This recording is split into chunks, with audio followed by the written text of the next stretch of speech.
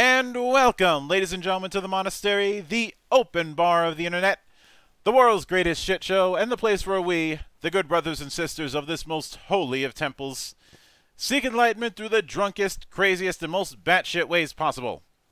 I am your one and only gaming monk, better known as Mildra, and with me I have a newcomer to the temple, a man who a man who does synth stuff, a man who does synth things, RPG things, and synth RPG things. Not not to be confused with propane and propane accessories. And the and the man behind the upcoming Moirai Dice to add a little bit more chaos into your games, as if there wasn't enough already. The one and only Geargrind. How are you doing today, man? I'm good. How are you? I am do I am doing pretty good. Um, it's uh, it's still it's still relatively warm for my t- for my taste over here, and um, I and well, anyone who says that you don't that you don't have it that you already have enough dice is a liar. Yeah, I like to think this way. Yeah, um, that's true. Especially since I've played one too many Shadowrun games in in my time, and um, you need eh, for D6 that kind of thing you need dice by the pound. D sixes till you uh, are basically drowning in them. I guess. Yeah, that was that was the first game where we where we just threw up our hands and said, "Fuck it, we're using we're using a we're using a dice rolling app for this because I'm not having everyone No. lug around that many." No. Hand handfuls of dice must be uh, thrown at the table. It was it was more of a space issue. We were we were running out of room. Yeah, like table space or Yeah, table space, especially for me as the as the GM. What? What's the what's the kind of number? Like I have the the core rule book here because it was like super cheap where Mhm. I'm from. Um, and I bought D6s to play it, like like one of the, I don't know, like the little plastic cubes that come filled with them. Mhm. Uh, who makes them? Chessex, I think, does like a mini D6, uh, little mini D6 container, Yep. which I loved picked up especially for playing this, but I never got around to do it. Since it's like a really heavy, crunchy game that no one would play with me. Yeah, I can I can cer- I um I seemed I, I seem to have be- I seem to have better luck than others pro- probably because um of the fact that I've already got a reputation as the guy who forget who's forgotten more about RPGs than some people will remember so it's just a case of look you lead the way man we'll d- and we'll do and we'll do it um which I ha- which I have abused once or twice when I when I had everybody run paranoia That's awesome. Like th- that game, that game lives off of what you've just described, like not knowing the rules and like just just being an asshole about the rules in general. Oh, isn't I don't tr- I don't try to be one of those evil to be the evil GM stereotype, but um, if the if the game encourages it, who am, who am I to say no? It's so fun though to be an asshole to your players. Like I, I sometimes fear uh, like I'm sometimes afraid that I that I'm taking it too far, that they're gonna be seriously pissed off by me. But like I, I found a home in this in this OSR um, old school gaming niche because it almost always uh, is pleasing to play those games as an a- asshole GM, I Mhm. guess. Because it comes with the territory. I mean, like you're you're like these these little scrawny uh, level zero adventurers in some cases, uh, getting mauled by like ancient creatures in dank catacombs, and like there's nothing nice about that. And I think like as a as a GM, you should be like as impartial as the the cold world. I guess the the characters are Yeah. traversing. So, I I often like to go into the humble beginnings, in a sense. So with that in mind, what was your what was your first introduction to role playing games? Um, I, I I have like memories as a child, like in elementary school, of like making up um making up um games that were solely played in like our heads. Like I would GM like like proto role play with my friends hmm and do some like some skirmish wargaming with like I don't know like toy sol like the little green toy soldiers and like stuff like that. But then like the the real deal I think was um Advanced Dungeons and Dragons where I found two boxes, like the red boxes from Amigo, I think there were. Um at a flea market hmm and I I begged my mom to buy those, even though they were pretty expensive for flea market um, uh, for flea market stuff. But I still have those little um, those little brochures, those little red brochures of the monster manual and the player's manual. They're like trial trial editions. Basically, they only go to level five. I don't know if you know that edition. Um, adva- I'm g- based on how you based on how you described it in the whole in the whole trial version. I'm guessing that was AD and D first. Um, Could be, yeah. but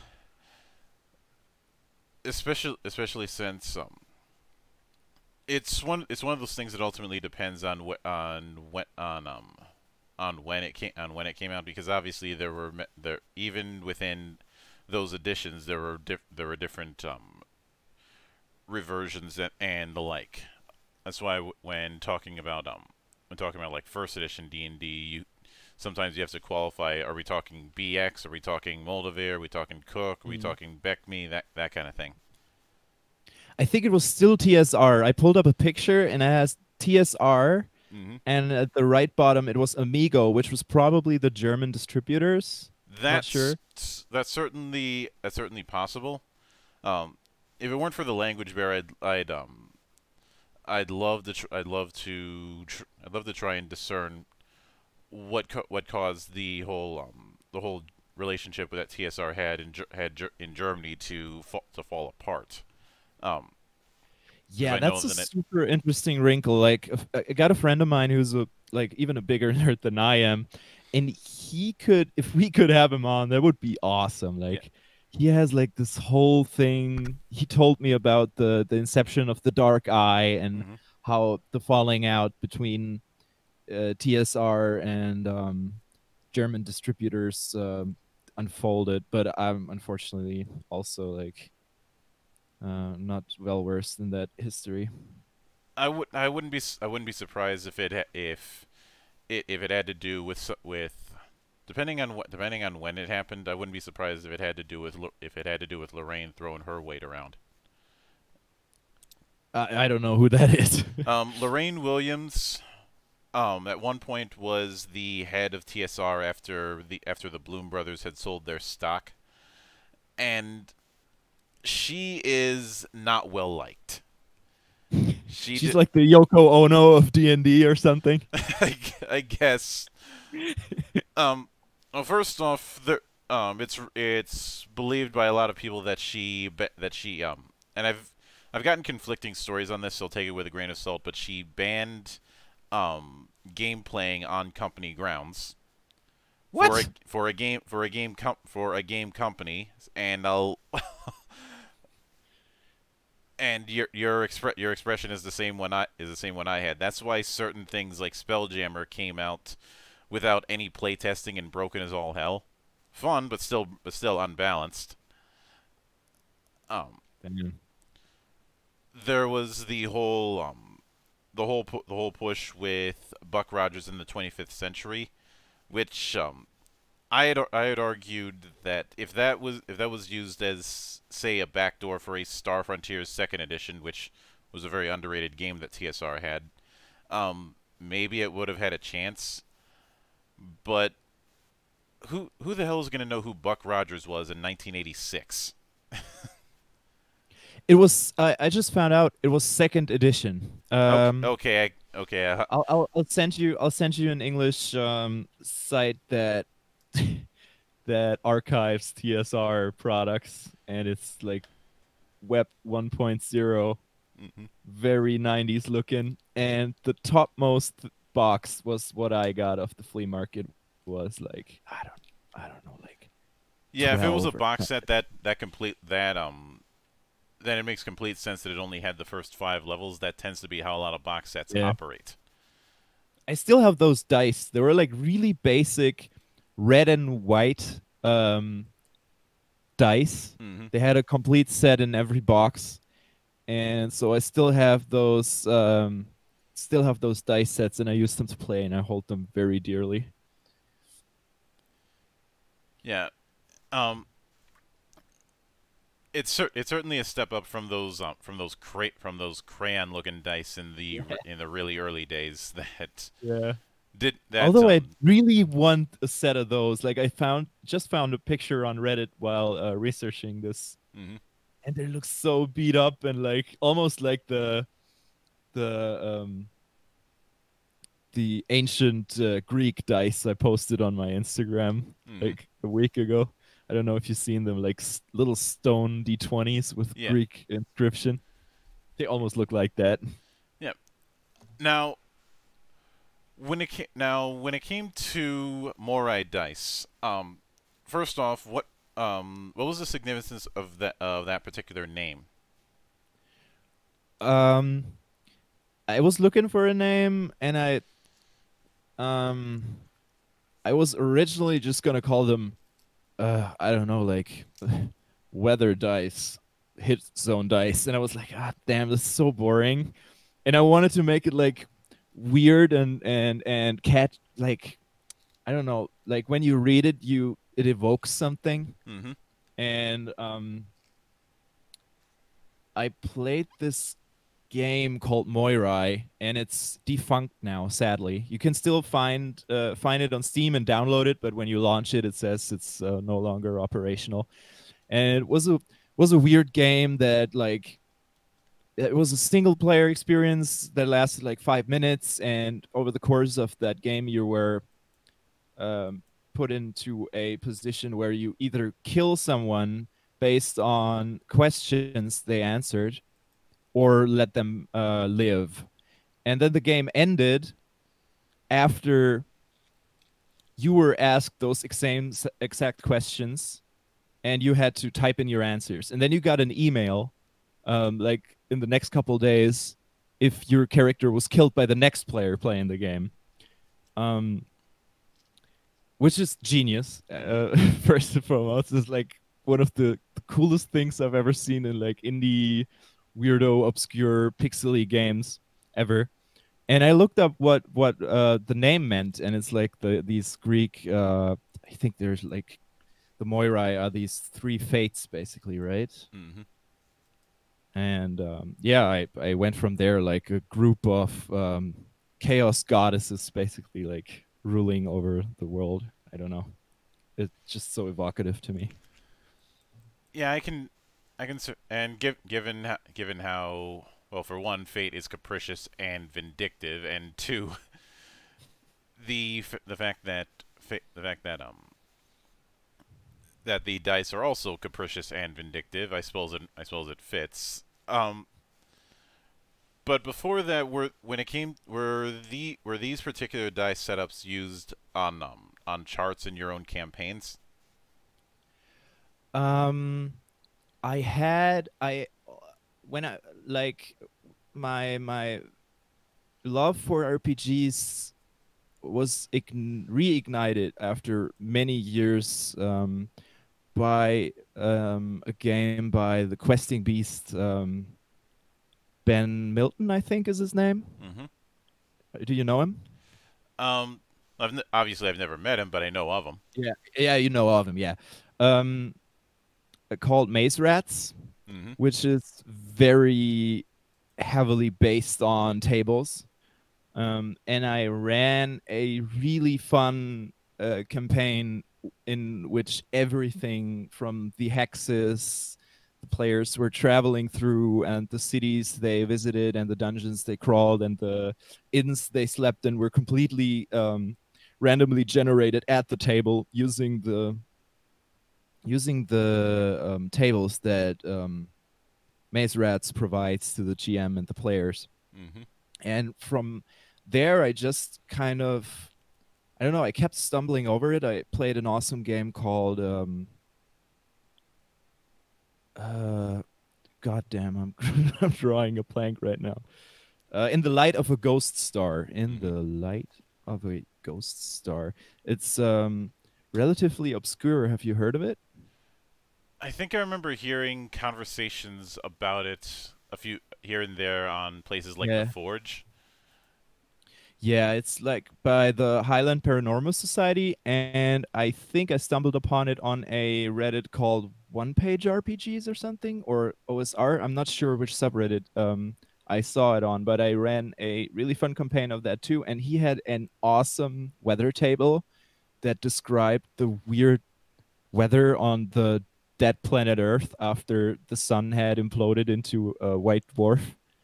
And it was like describing like green clouds and it was this this really wacky um sci-fi fantasy world. Like it felt like um the adventure time land of Ooo to me. Like this really weird fucking you don't know if it's gonna rain daggers or uh, what's gonna happen next.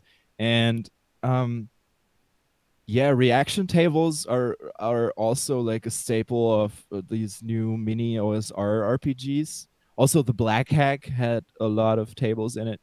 And then i i started to draw on blank d6s and yeah the rest is history. And to and to be to be fair, there's um there's plenty there's there's always been a myriad of um interesting cha- chaos related charts for um for a lot of OSR games, even in my early experiences with OSR. yeah But when it the originals but based on how you des- based on how you described it, would it be fair of me to say that the first die that you conceptualized was the weather die? Um, I'm not sure actually which one was the first. I think I did a bunch in one sitting.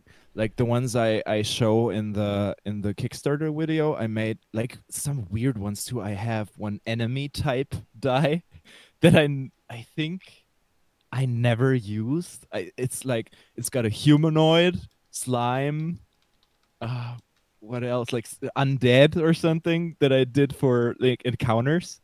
Um, and I did a whole bunch because I got a uh, uh, like a bag full of blank d6s, and I made a bunch of them at once.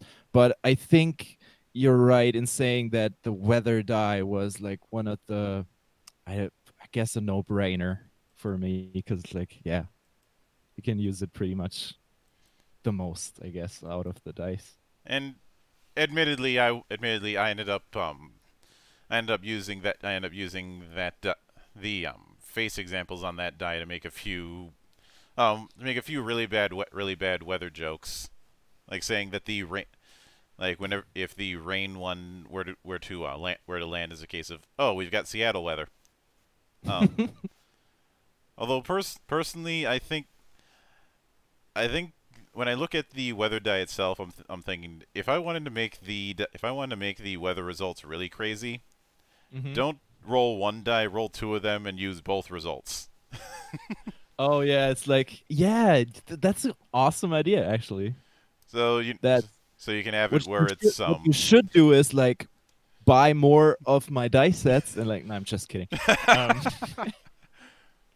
yeah, someone pointed out in the comments yesterday that it should have been a D12 for the for the weather. I don't know if you read that comment, but um, a guy uh, proposed to have like I, I think four sides for each season or something, which is a fascinating idea.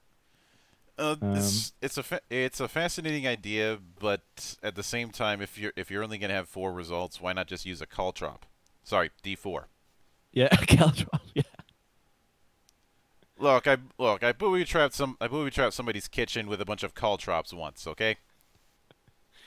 With a bunch of D4 Caltrops. Yeah.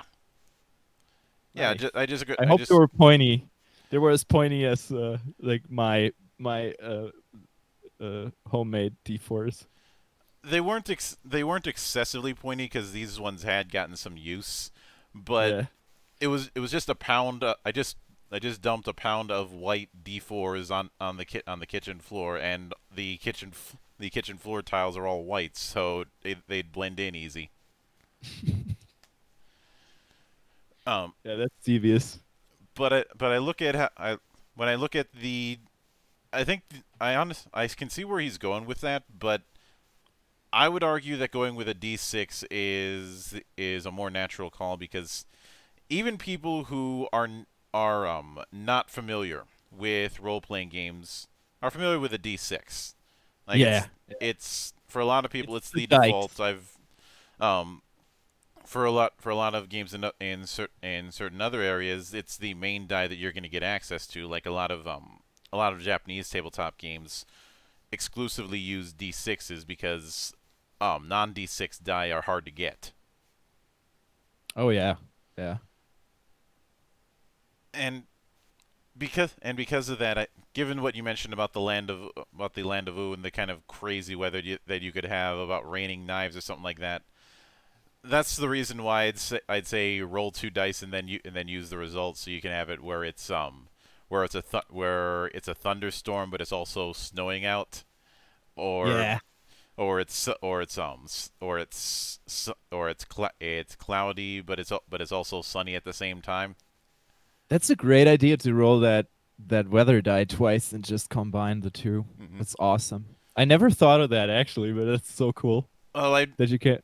I I did some I did something like that when it came to a when it came to a setting that I that I had where the uh, I had set it up as a kind of post post apocalypse where the apocalypse had art a fantasy apocalypse had already happened, but it happened centuries ago. It happened centuries ago.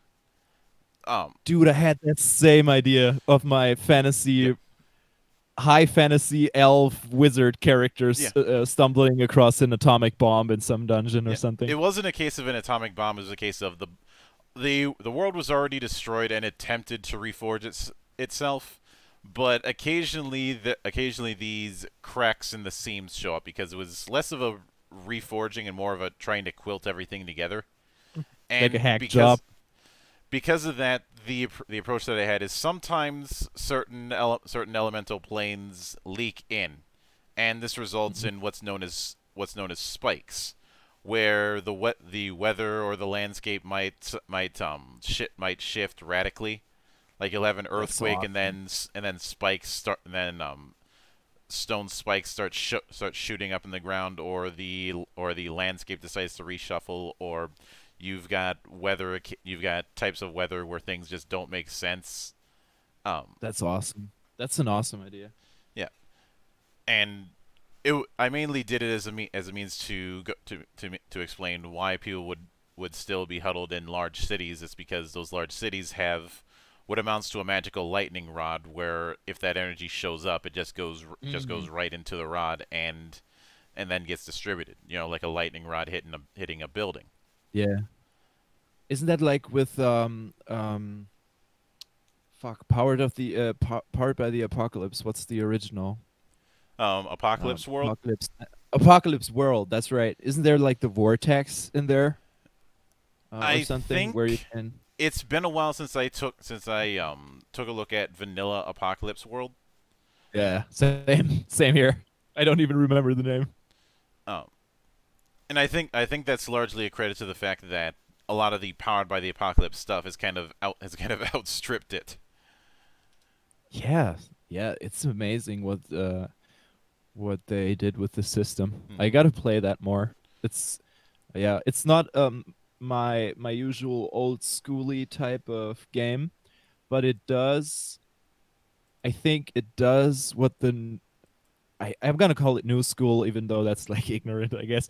But what what what newer developments in the the RPG world did was was um put the characters and their relationships more into focus instead of like sword and sorcery bashing orcs heads in with like uh I don't know swords. Mhm. Um and powered by the apocalypse and apocalypse worlds did did a wonderful job of like putting char- the characters that are playing and the players and the relationship among uh, amongst themselves into such a focus that I've never seen another system do. I think hmm before that and after. Yeah, when um now I will I will admit when I saw the hit location die, I um I had jo- I had jokingly remarked, "Hey, does, has this guy ever played Rolemaster?" I've never played Rolemaster. I gotta look up Rolemaster. Um if it if it helps, that system was also used in Middle Earth role playing, which I know Oh, yeah. had a little bit more of a had a little bit more of a foothold. Um, Rolemaster started out as as just a hack of AD&D that just got out of hand and became its own thing. Um, That's and a I- cool. Um, yeah. I will I will admit that I enjoy that I I did get a chuckle out of the fact that one of the hit location results is on the knee. Because you know that meme will never Yeah, die. Arrow, yeah, arrow to the knee. That's right. And I didn't think about that, dude. That's right. It's it's uh, an unfortunate ex-adventurer that took an arrow to the knee. hmm That that thing was inex- uh, inescapable. When was that? The thing like 2012 or something, where every every single um, comment section in YouTube was plagued by this meme. hmm Hell, I Damn. did, hell, I did my own I did my own variants when I was when when I was when I was playing other games. It's a case of arrow to the knee. Well, I took a missile to the face. Yeah, arrow to the knee, dude. Yeah. Um, but e- even with even even with that, um, I've I've had a um, I've had an I've had a unique relationship when it comes to hit location because some sometimes you sometimes you can get interesting results and sometimes you can get results where um where you're where you're trying to figure out why would you why would you even aim there, um. Yeah, it's it's less a case of you aim somewhere and now you roll where you aimed. It's just like, oh, you want to hit the you want to hit the head. All right, roll for it. Oh, you failed. you hit your friends and then you roll the hit location die knee um or something. I will I will admit it that, that hit locations always get a little bit sillier when it comes to melee combat versus ranged combat. That's right. Yeah. Um, it's not not that it can't be done for for melee. It's just it's just that sometimes the mo- the moving parts end up get end up getting a whole a whole lot a whole lot sillier. And yes, I will I will I will admit that on at least one occasion I have used hit locations solely solely so so I can so I can chastise somebody for shoot for shooting their enemy in the dick. Yeah. Um, I think the best hit location table is, or my favorite hit location table is to be found in the Black Hack, Mhm. um, where it's a drop table. It's like a one page, and it has like an adventurer with outstretched uh, arms and legs on it, and you drop a die on it that is simultaneously the damage die you use for your um, attack and you drop it on the page and depending on which limb it lands closest to you you then go down a table um, um, you look at the damage you roll and to go down the table for that limb and it's super evocative it's like for the arm it's like it starts with like um, broken pinky finger or something and then goes gradually up to um, blood spray or something and it's super evocative. Like you roll a d8 on that table, and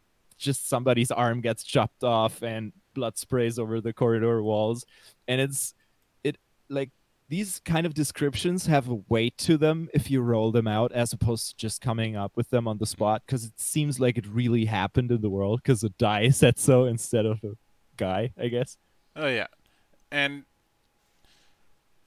when it came when it came to something like Rolemaster, they had um they had a they had a much more they had a much more complex table, ad- admittedly, um, and different tables for different for different types of weapons or means to or means to attack. So one for bladed, one for crushing weapons, one for one for missile weapons, um, one for one for certain magic effects, and I will show I will show you one example of one of the uh, ch- of one of the charts.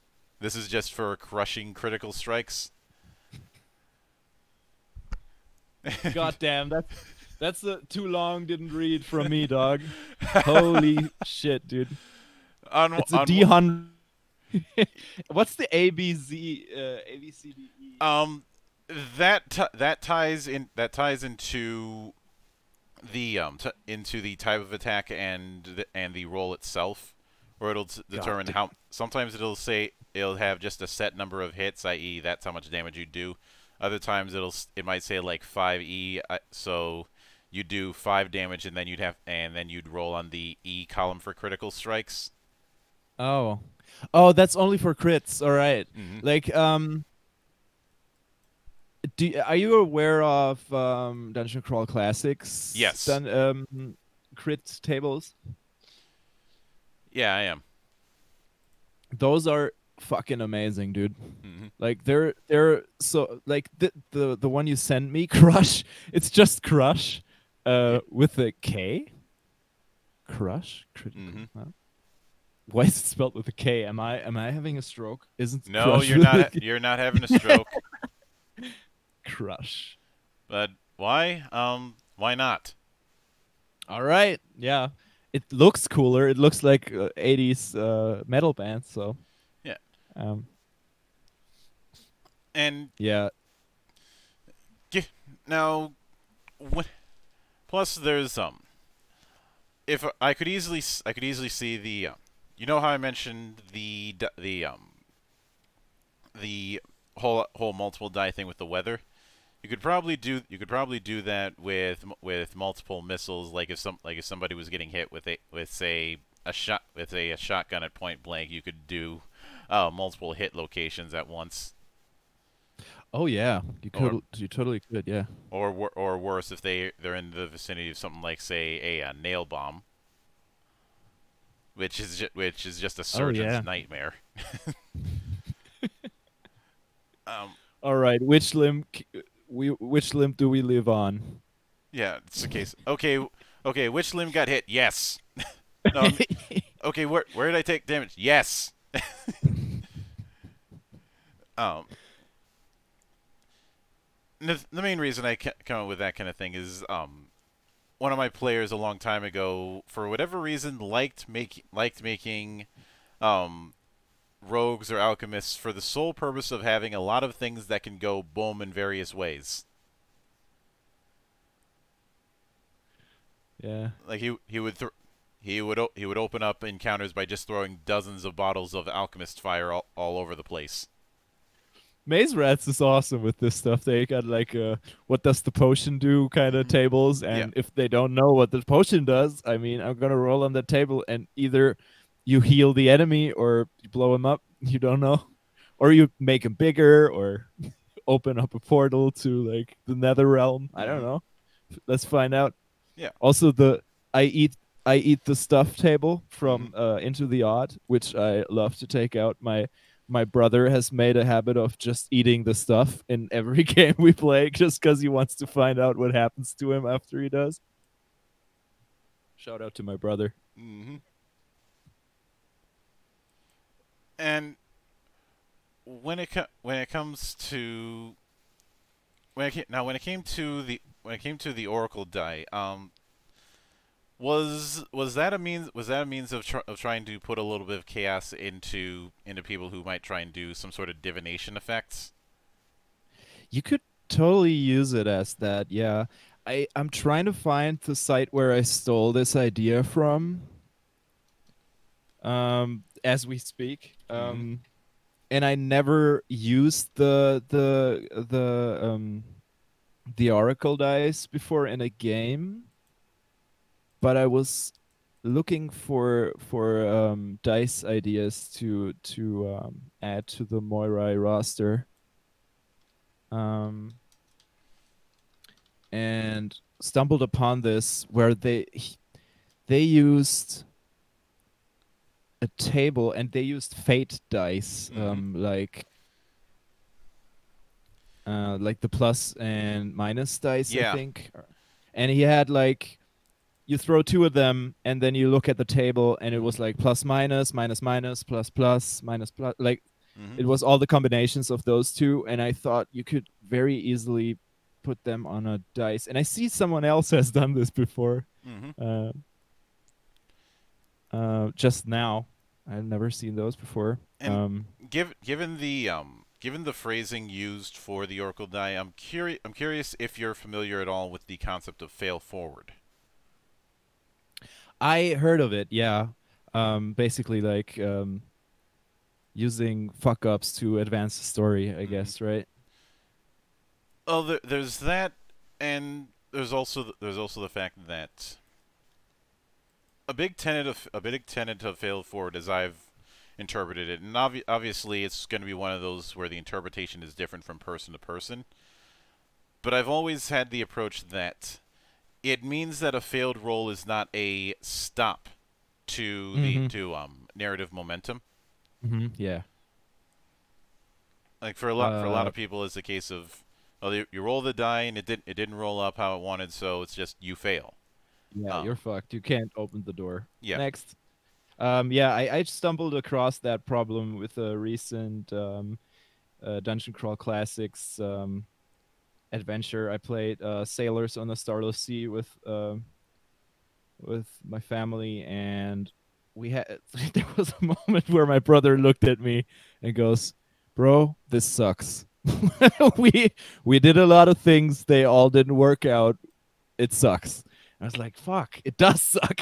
And um, I think Apocalypse Worlds does this uh, exceptionally well. They don't have they they have this yes but and no but mechanic built into the um, gradual um, dice rolls where you have like, yeah, you didn't break open the door, but maybe you put a hole in it if you rolled high enough. Or um, what I the the the greatest work of genius in that system is for me like the little little uh I guess tables. It's not really tables because you don't roll on them, but you have like five things you can pick from, and the better your roll is, the more you can pick from them. Like you can break open the door and you can do it silently, um, and you can take another action or something like that. And the inverse effects is uh, also true because if you roll low enough, um, there are like some some fuck up tables where you can like uh, mitigate your what the what the GM can do to you once uh, once your action is over. I don't know if that came across clearly. I don't know if you know what I mean. Yeah, I I gotcha. Um,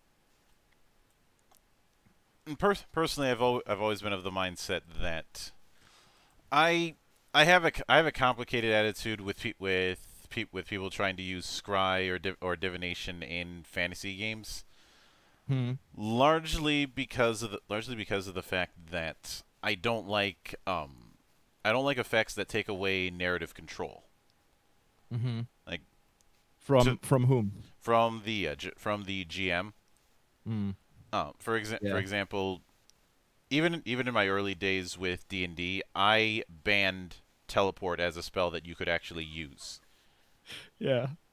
because why why um if some if somebody can just teleport right to the dungeon, what's the point of what's the point of setting up the hexes and set and setting up wandering monsters and all that when somebody can just port over there? Yeah, I think the what's he called? The Great GM or something? Um, the South African dude living in Japan. I forget what his name is. How to be a great GM or Mhm. something. A great GM. I gotta I gotta know his name here. He's a legend. Although if we're having trouble, yeah, it's just it's just great GM. Yeah, the YouTube channel is great GM, and he did a great video on exactly that problem where um where he says no one can take narrative control away from you. You're the GM. You make up the world. So if um don't don't say um I guess no you can't teleport. Um make it so that there's like complications to teleporting. Maybe there's like uh maybe they teleport to the dungeon but like the dungeon door has like a field around it where you can't directly teleport it and now they bounce off in like the weird hyperspace teleport dimension and have to like fight their way through there to the dungeon or are like uh, displaced and don't know where they are, and then you have like a new failing forward, I guess, from the the side of the GM. I will admit that the approach that I ended up using in, instead, after after enough people made a case, was okay. There are these certain waypoints in the world that you can teleport between safely. Any other place, yeah. and it's it's like um it's like yeah. it's like oh it's like being out in the ocean without a cur- without a uh, yeah. map. Now we're talking. That's like the stuff I want to see. Cause like, yeah, sure, you can you can do the weird teleport thing. See what happens. see what happens to your to your teleporting mage. Maybe um maybe some parts of him get teleported there or something. I don't know. Yeah, the the the way I the way I described it is what is once you're once you're out of once you're out of real space when it comes to teleporting, you're in you're in the, you're in a place that's basically like being un, being underwater being underwater during a maelstrom and above water during a hurricane at the same time. That's a good way to put it. I'm gonna steal that, by the way. so it's so it's e it would be easy to get swept up in the currents and end up in some place you had no you had no intention of being. Plus, yeah. I remember um, I remember night I remember Nightcrawler from uh, X Men talking about how he needs to see where he's going, otherwise he he's afraid he's going to teleport into into a uh, rock or something. That's that's like a, a, a, a prospect that's uh, should be should be uh, brought up in more games. I think like mages teleporting themselves like halfway through walls, like but, just being stuck there. And I I will I well I've I've certainly I was able to use that once as a glorified excuse to to ha to have a mage do the carbonite face. um, it was it was just that it was just that they ended up they they ended up teleporting in and ended up with half of their body sticking out of one wall and half of their body sticking out the other wall.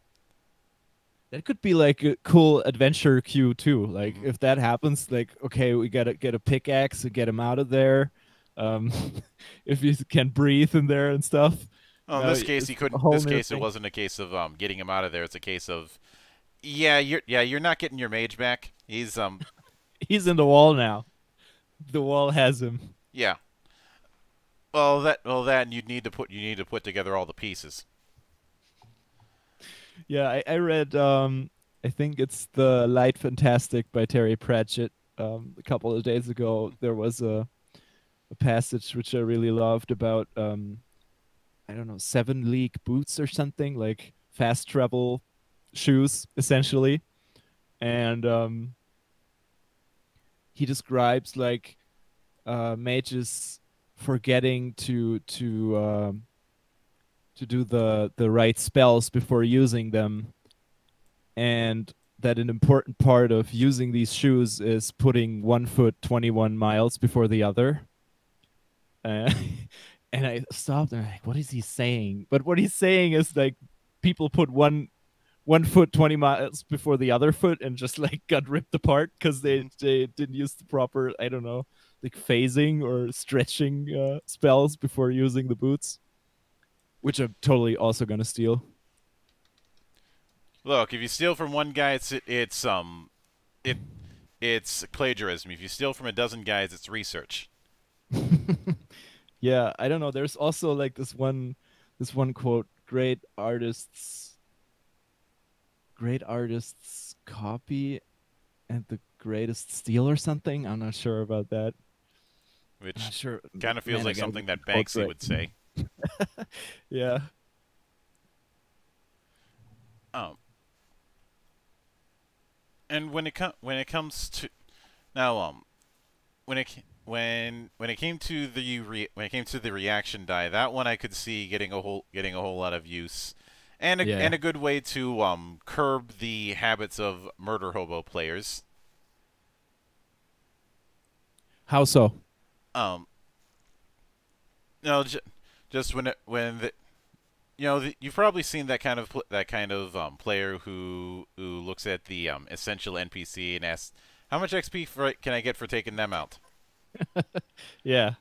To the point where there there is a t there is a um Uh, unfortunately, I don't have this as a T-shirt yet, but there is a T-shirt. There is a um, T-shirt design called called Ascent called Essential NPC, which I'm going I'm going to see if I can if I can um dig if I can. It's got it like up. the stats that you get for killing them on it or something.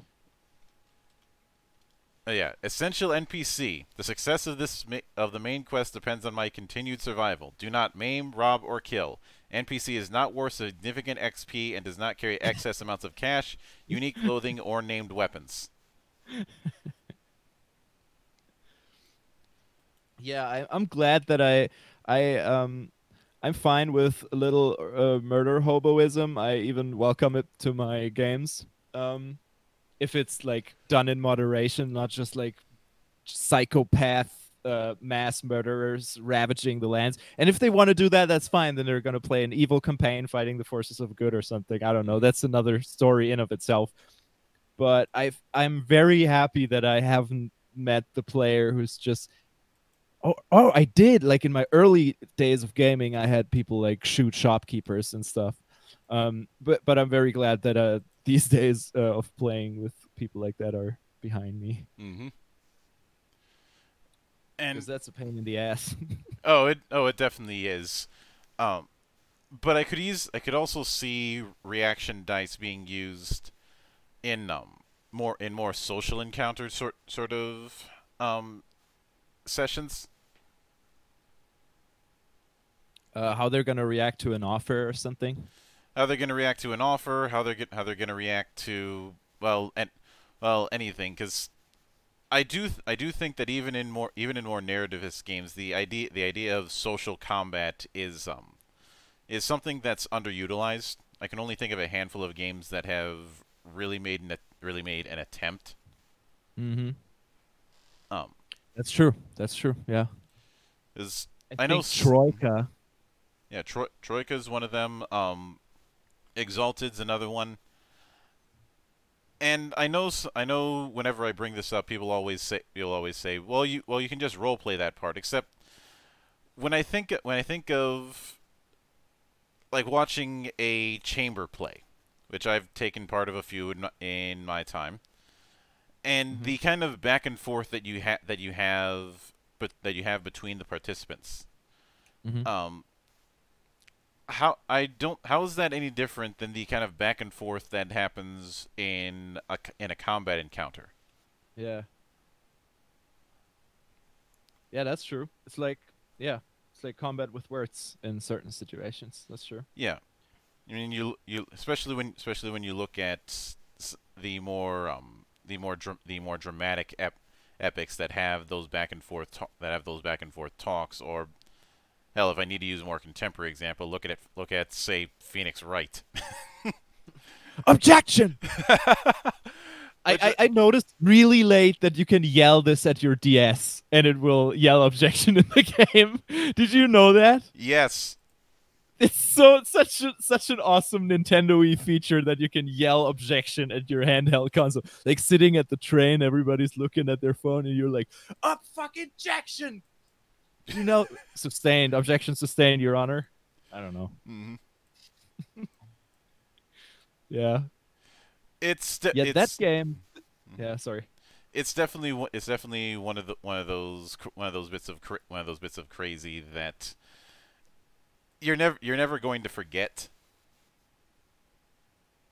Yeah, that's such a catchy. Yeah, and I think Troika has, if I remember it right, they have like uh, weapons for social combat. You can lug around like this um, fine China tea set in your in your backpack, and then when it comes to like um, haggling with your quest giver, you can take out the fine China and like have um, bonuses on your um, uh, rolls to get more money out of them, which is like super awesome idea. I need to play Troika, man. I, I read the book.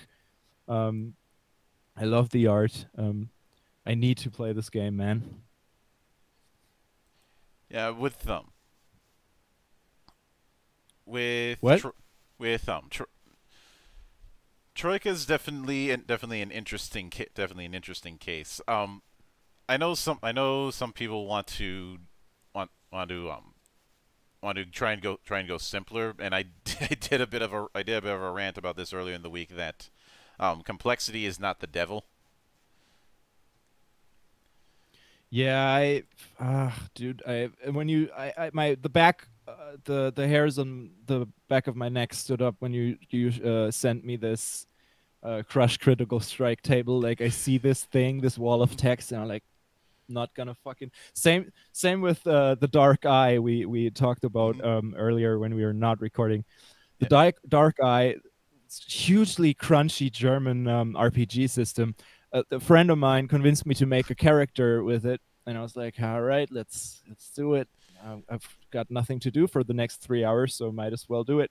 And he sat me down in front of his PC, and he's like this bookkeeping software to make a character in like half an hour or something, where the all the points you roll up are like they're like organized for you, and Yeah. you like can put put on like uh, armor pieces. Like I'm gonna wear one piece of armor on my fore left forearm, and it's gonna give me two points toward my. Uh, oh Jesus Christ! I'm so glad they're Now, I mentioned this. I mentioned this to you in the past, but I will. Fr- I will freely admit once again that I'm. I'm only familiar with fourth and fifth edition um, Dark Eye. So if it get if it was more crunchy in its earlier days, I can I um can't comment on that.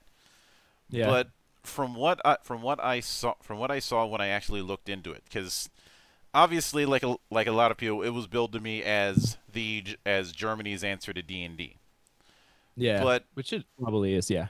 what but when I when I sat da- when I sat down with it, I started to feel that that um that comparison doesn't doesn't really apply as much as much as people think. Hmm. I would I would argue that Dark Eye has, and may, maybe this is maybe this is um me reading too much into it. Maybe it's a case of th- of this happened totally by accident. But the Dark Eye seems to have far more in common mechanically with things like Riddle of Steel or Warhammer Fantasy Roleplay. Yeah, I, I've never played the Dark Eye or Riddle of Steel or fantasy uh, the the Warhammer Fantasy role playing game, so I can't really comment on that. But I saw that you need to like I played. um Oh, I did technically maybe played a little uh, of the Dark Eye, but a solo adventure book, which was gorgeous. Like th- those things, like all their material, you can say Mhm. what you want about the system, but their material is freaking gorgeous always. And they have the, these these small solo adventure books, and I love solo adventures. My last Kickstarter was a old school, um, like uh, like the Ian Livingstone adventure books. Yeah, you'd um, Um, you'd probably you'd probably get a kick out of um, DC Ross's stuff. DC Ross. Jacob? D- Jacob DC Ross. DC Um, Ross. Um, while I looked that up, like I wanted to finish Mhm. saying that I saw that you need to roll three dice to do a single thing, like three d20s Yeah. for three attributes that are relevant to the task at hand. And I was super turned off by that. Um, I um I didn't I honestly didn't I honestly didn't mind that that setup when I when I saw it. And I th- I think it I think it came down to interpretation because I think the int- it seemed to me that the intent was to do a kind of degree of success thing. Although mhm. I can't. Although where I what I can see a a um a a potential issue is in is in tr- is in trying to is in the temptation of making everybody a bit more of a generalist um, when it comes when it comes to allocation Mhm. instead of specializing. But Yeah, I mean the the thought of it is really genius. Like, Mhm. uh, you can you can scale a wall with strength. You can stra- scale a wall with agility. It depends on the wall and like the depending which attribute you roll high on, it could be that you, yeah, the the, the outcome could change. Like the idea is is awesome. yeah, once once again, I th- I think it I think it ultimately comes down to the to the fact that I don't bel I don't believe that you can re- that you can really use um you can really use the dark eye as a D- as a D and D analog, especially since Nah, the dark yeah, eye um to its cr- to its credit has a far more defined setting than D&D has ever had. That's true. Or uh, is that still true though? I don't know if fifth edition has like a. It still it still like has Aventuria. Uh, the Dark Eye. Yeah. Yeah, yeah.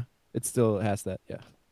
and that's been a criticism I've had with D and D for the longest time that it that it Hmm. never that I could never figure out whether to shit or get off the pot when it came to a default setting and a default style of um, fantasy.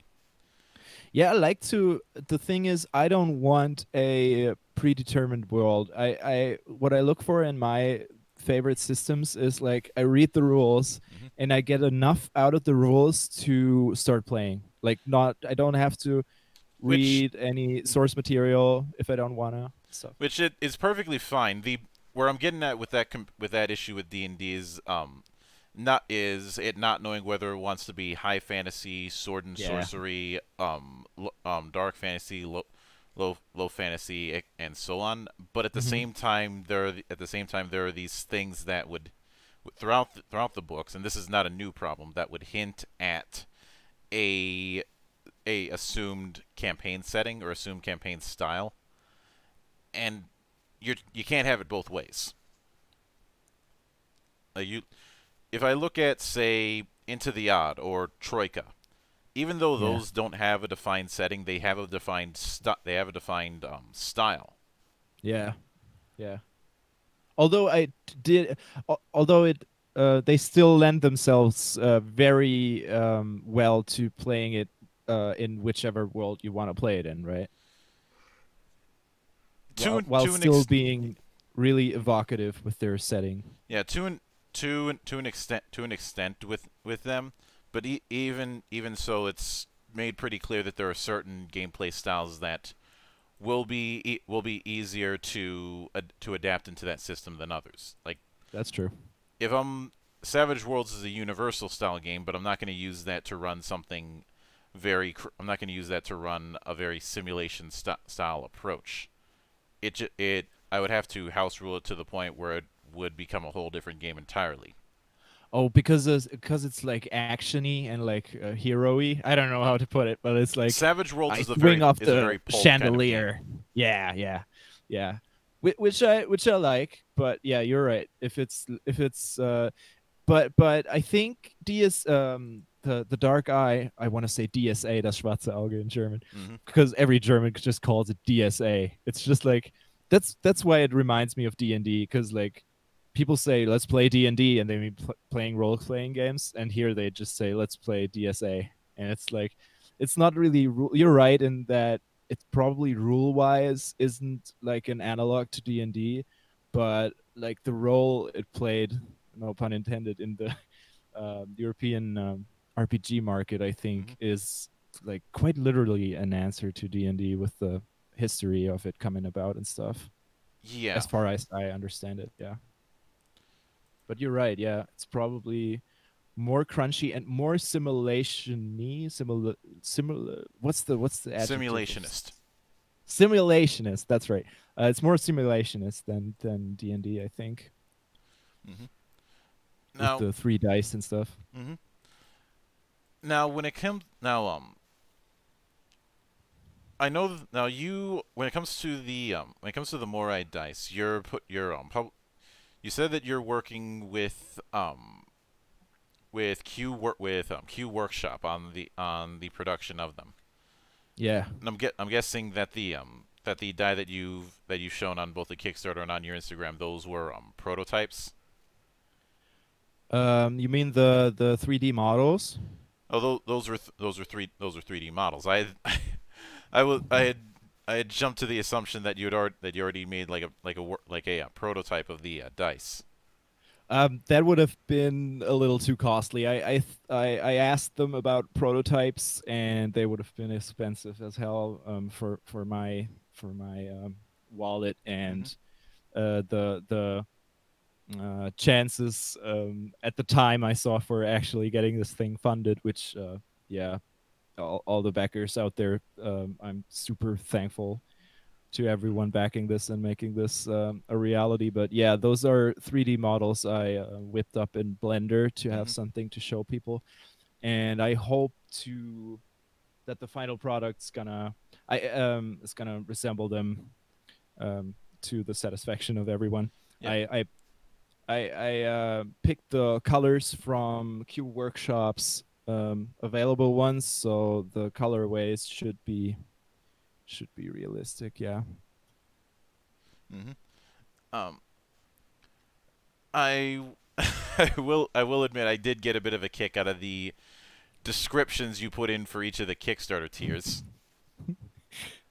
That's awesome. Yeah. Um, Th- uh, yeah, that's awesome. It worked, I guess. I I always I always like when when people try and sneak a sneak a little bit of humor into into the pitch. Yeah, I, I really tried with this one. Like, I originally was gonna just say, "You get the dice. Here are the dice," and then I, and then I looked at it. It was such such a bland thing, and I looked at past campaign. I'm not trying to shit on anyone, but I looked at past um, at similar projects to mine, and I found them to be a little bit dry and um, I don't know, not sexy. I guess I'm not. I don't know how to put it otherwise, but I wanted to make like a really like to make it an experience to have like some i don't know like an aura of mystique around these dice and like a weird implied uh, backstory kind of thing like Mhm. with them being chaos generators and shit yeah it's Yeah. great to know that somebody read that and like uh, got a little joy out of it I well I um I I have an eye I have an eye for detail. Um pro- in part in part arguably because I I spend way I spend way too much time I spend way too much time reading Sherlock Holmes. oh yeah haven't you read them all by now like I've read I've read enough of them all right and and the and a- and just look I re I read way I read way too way too much shit when I should when I arguably shouldn't have include up to and including an entire library because somebody was dumb enough to give me a spare set of keys. oh But- that's awesome dude And I, now I know that you've got it listed that the um the uh, endpoint for the Kickstarter is going to be February 10th, and as an aside, congratulations on managing to sma- to smash the initial goal with plenty of, with plenty of time to spare. But That's awesome. Yeah, I What was are you blown sh- away by that. yeah, what are you shooting for as far as a release win- as far as a release window? Are you thinking sometime in um, summer? Uh, yeah, I um the production times um yeah it's it's listed as July 2021 um and let's let's look at my calendar here um I gotta watch what I say right now because this is like the I I heard uh collective uh flapping as uh, the ears of uh, 240 backers just uh, pointed up and as uh, I began talking about. Yeah, there should be there should be time enough because these things take a lot of time to make, and um, I gotta get some stuff shipped here and like package it myself and stuff. So yeah, I'm gonna have my work cut out for me once uh, once uh, February rolls around.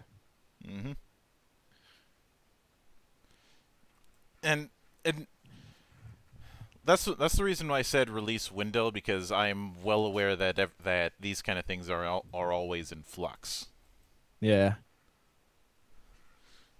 Yeah, I hope to um yeah, I'm I'm just going to say that I'm confident to to meet the July deadline at the moment. I don't want to say uh I want to I don't want to make any promises about getting it out early and um yeah, just going to hope to to get it out there when I said I am just going to get it out there because like last time I did the Dark Path um interactive fiction scene. Oh, there was some fucking around with post. Trump fucked with the post office um, over there. COVID fucked with the post office over here. Um, and I didn't plan the the process of like um, postage and shipping of um, uh, goods overseas um, enough, and when shipping rolled around, uh, peop- uh, people were getting restless and like, is the creator gonna do an up- update? And while I I greatly appreciate being called the creator online, um, it was really nerve wracking for me to have like, oh shit, oh shit. I hope these, I hope the post office doesn't mess with my with my packages, and yeah. I Mhm. found out some wrinkles in the German Post. Um, it's like a deep lore over there, where um, you can send documents, but then like, what's a document? Is it can it be bound? Can it be a bound? Is a book a document? I don't know. And then it's like haggling at the post office, like, can I, can, can just fucking send this overseas, please? And then they feel the envelope. When lady felt the envelope. That's a calendar. I can feel the ring binding on the calendar. It's, it's not a fucking calendar, lady. Just, just please. Then, no, you can't. Ah, fuck. And then I put it in an envelope you can't feel through. Mhm. it was just such a fuckery. And this time I learned from that, and like, I char- I felt bad about charging like t- uh, the shipping I charged for, but now people are just gonna get their stuff. Uh, knock on wood. There you go. which they did like like people got their stuff i'm not saying people didn't get their stuff hopefully everyone got their stuff um but with the the shipping uh, price i charged i can make sure that if something gets lost i can just send another one or track it or Mhm. put it in a nice container that's not an affront to any postage trolls uh, on this or the other side of the pond If I take any if I take any solace is the is the fact that post is the fact that um postal trolling seems seems to be a u- a univer- a universal concept. Yeah. Probably they they probably have like these weird creatures like running around. It's magic to me. Like not, I'm not shitting on, on on any postal workers out there. It's like really magical to me that Mhm. the the way they just like you put something in this this this weird box at the side of the road and it shows up at someone else's house like a day later. What do they do? Is they're like underground pipes or something? It's super weird to me. Oh, there was one Oh, time I got rec- I got sent I got sent a package with nothing in it. Just no no sender. No, there no there I knew who the send I, I knew who the sender was. I'm not going to say who the sender was, but I opened up the package and there was nothing and, it- and it was completely empty. Okay, that's that's but they they say they put something in it. Um No, it it was just it was just a box. it was just Like they sent you a box. yeah. All right. That's mysterious. Maybe that's my next Kickstarter. It's nothing. I hope I will get nothing shipped to you by the time um, this time next year. Get your nothing now. I um I don't I don't know that I could I could probably I could probably use that as a, uh, I could probably I would say I could use that as a gag, but um Stan Lee already beat me to the punch decades ago Hello? with the no prize. Can't hear you, dude. Um Stan Lee had already beat had already beaten me to the punch on that whole thing with the concept of a no prize. You're lagging out on me, man. Oh oh god. Try again. I guess Stan Lee doesn't like the no prize either. Now I can hear you. Yeah, I don't, I don't know what that was about. Technology is weird sometimes, and maybe I'm not paying the gremlins enough. Uh, But it, but it's just it's just one of it's just one of those bit one of those bits of cr- one of those bits of crazy that can go that can go about. But I will definitely look forward to seeing what sort of chaos is born out of it out of it, and um, there's there's uh, even though it, even though it's a bit of a long shot, there is a twisted part of me that that that is cons- that is considered. Why not? Why not have? Why not have a? Why not have some sort of character creation method that is just nothing but dice? You roll like si- you roll like six sets That's of dice, and then and then that's and then you fill in your character sheet with with nothing that's but that. awesome. Yeah. Yeah, that's awesome. Like make it a make the character sheet a drop table and just throw the dice at the table and then like shift them around and put them into boxes. That's an awesome idea. Yeah, and gr- granted, we've had things like like random generation for ability scores and the like, but or or things like the life path generator that um that R. Talsorian Games has with Interlock. But I think we can go further in the stupid. the stupid, yeah. Um, I mean, character creation is like such a such a divine process. I don't know. There's like I think it was Traveller that got shit on because your character can die during creation. I have But- I have no idea what I have I have no idea why people shit on that. I find I find that to be awesome, brilliant. dude. That's awesome, man. And like someone told it to me, it was like that's the stupidest thing. And I looked it up, and the reason for the character dying in during the creation is that you spend um, years of the character's life doing certain activities like adventuring, um, receiving education and stuff.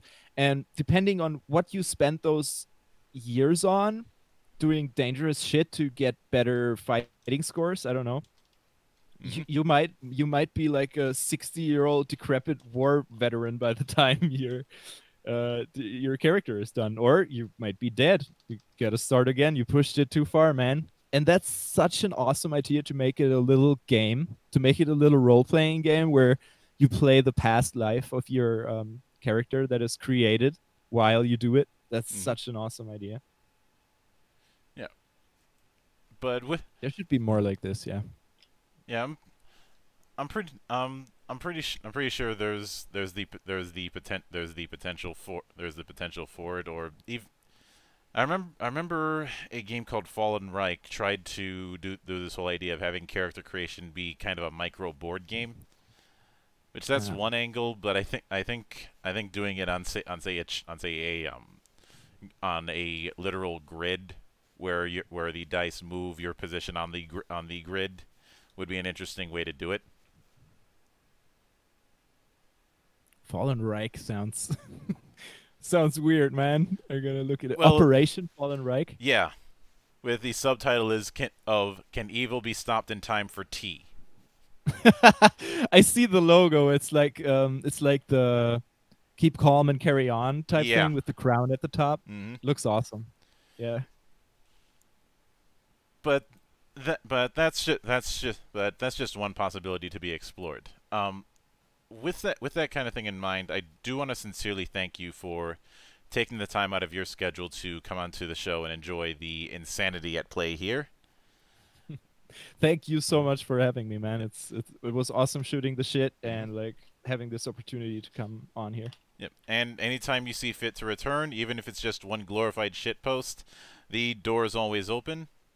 I I would be glad to to come back. This was really fun. We can do this uh, as many times as you like, Yeah. man.